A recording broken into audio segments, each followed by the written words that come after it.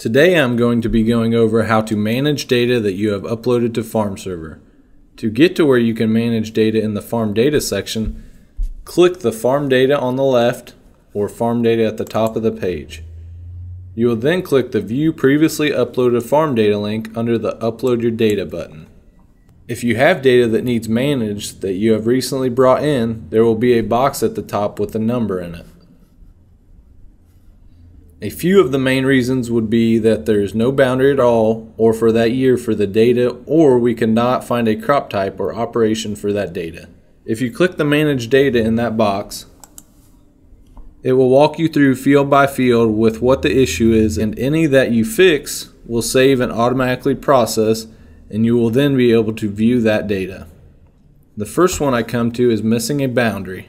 I notice that this is a field that I must have forgot to put a boundary in for. By clicking on the polygons that make up that field, the CLUs will not always match the crop boundaries exactly. In this case, the CLU polygons make up more than the desired area. You can edit these to match the crop boundary by clicking the Edit Field Boundaries on the left. You can then move the points to the desired position. If you click any of the white dots and move them, they will create more dots. More dots will allow you to get the boundary more exact.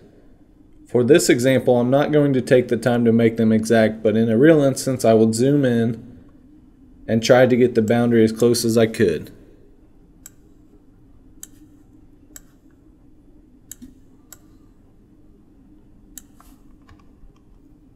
If you do have boundaries from RTK signal, those are definitely preferred. Once you have a boundary done, name the farm and field and save it with the button below.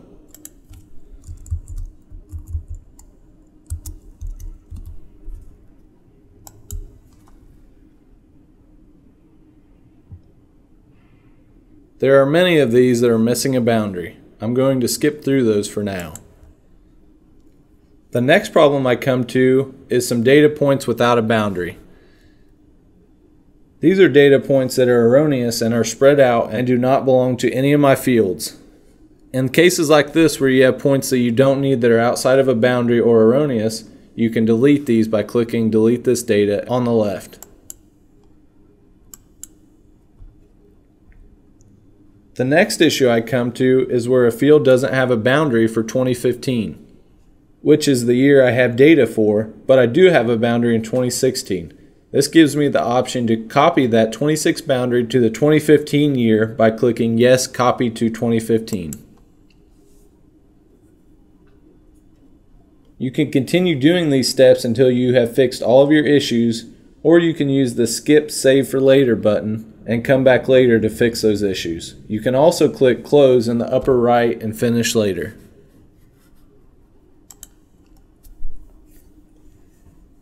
You can always manually manage files one by one that need fixed. You can find these files in the list because they will be grayed out and in the status column say needs assistance and to the right of that will be a button that says manage. If you click manage it will bring you to a page saying what the issue is. Here are some more points that are outside of boundaries that I have and I just want to delete them. Here is one that needs the crop type set. It will come to a page and ask for the crop type. You can click the drop down and choose the crop type for the field and then hit save. It will start processing that data to the field then. You can also reprocess data at any time for examples like when you edit the boundary of a field by clicking the Advance button, then clicking the check boxes to the field you wish to reprocess. These will take a little while to finish reprocessing. You can also delete individual fields of data by clicking the same Advanced tab and then clicking the checkbox to the right of the fields. And then click Delete at the top. If you ever want to bring back data that you have deleted in this section, you can click the Show Deleted box at the top and it will show all of your deleted data.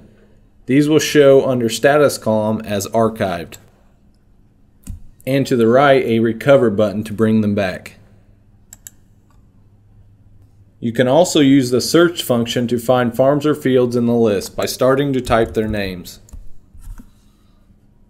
For more information, visit farmserver.com or email support.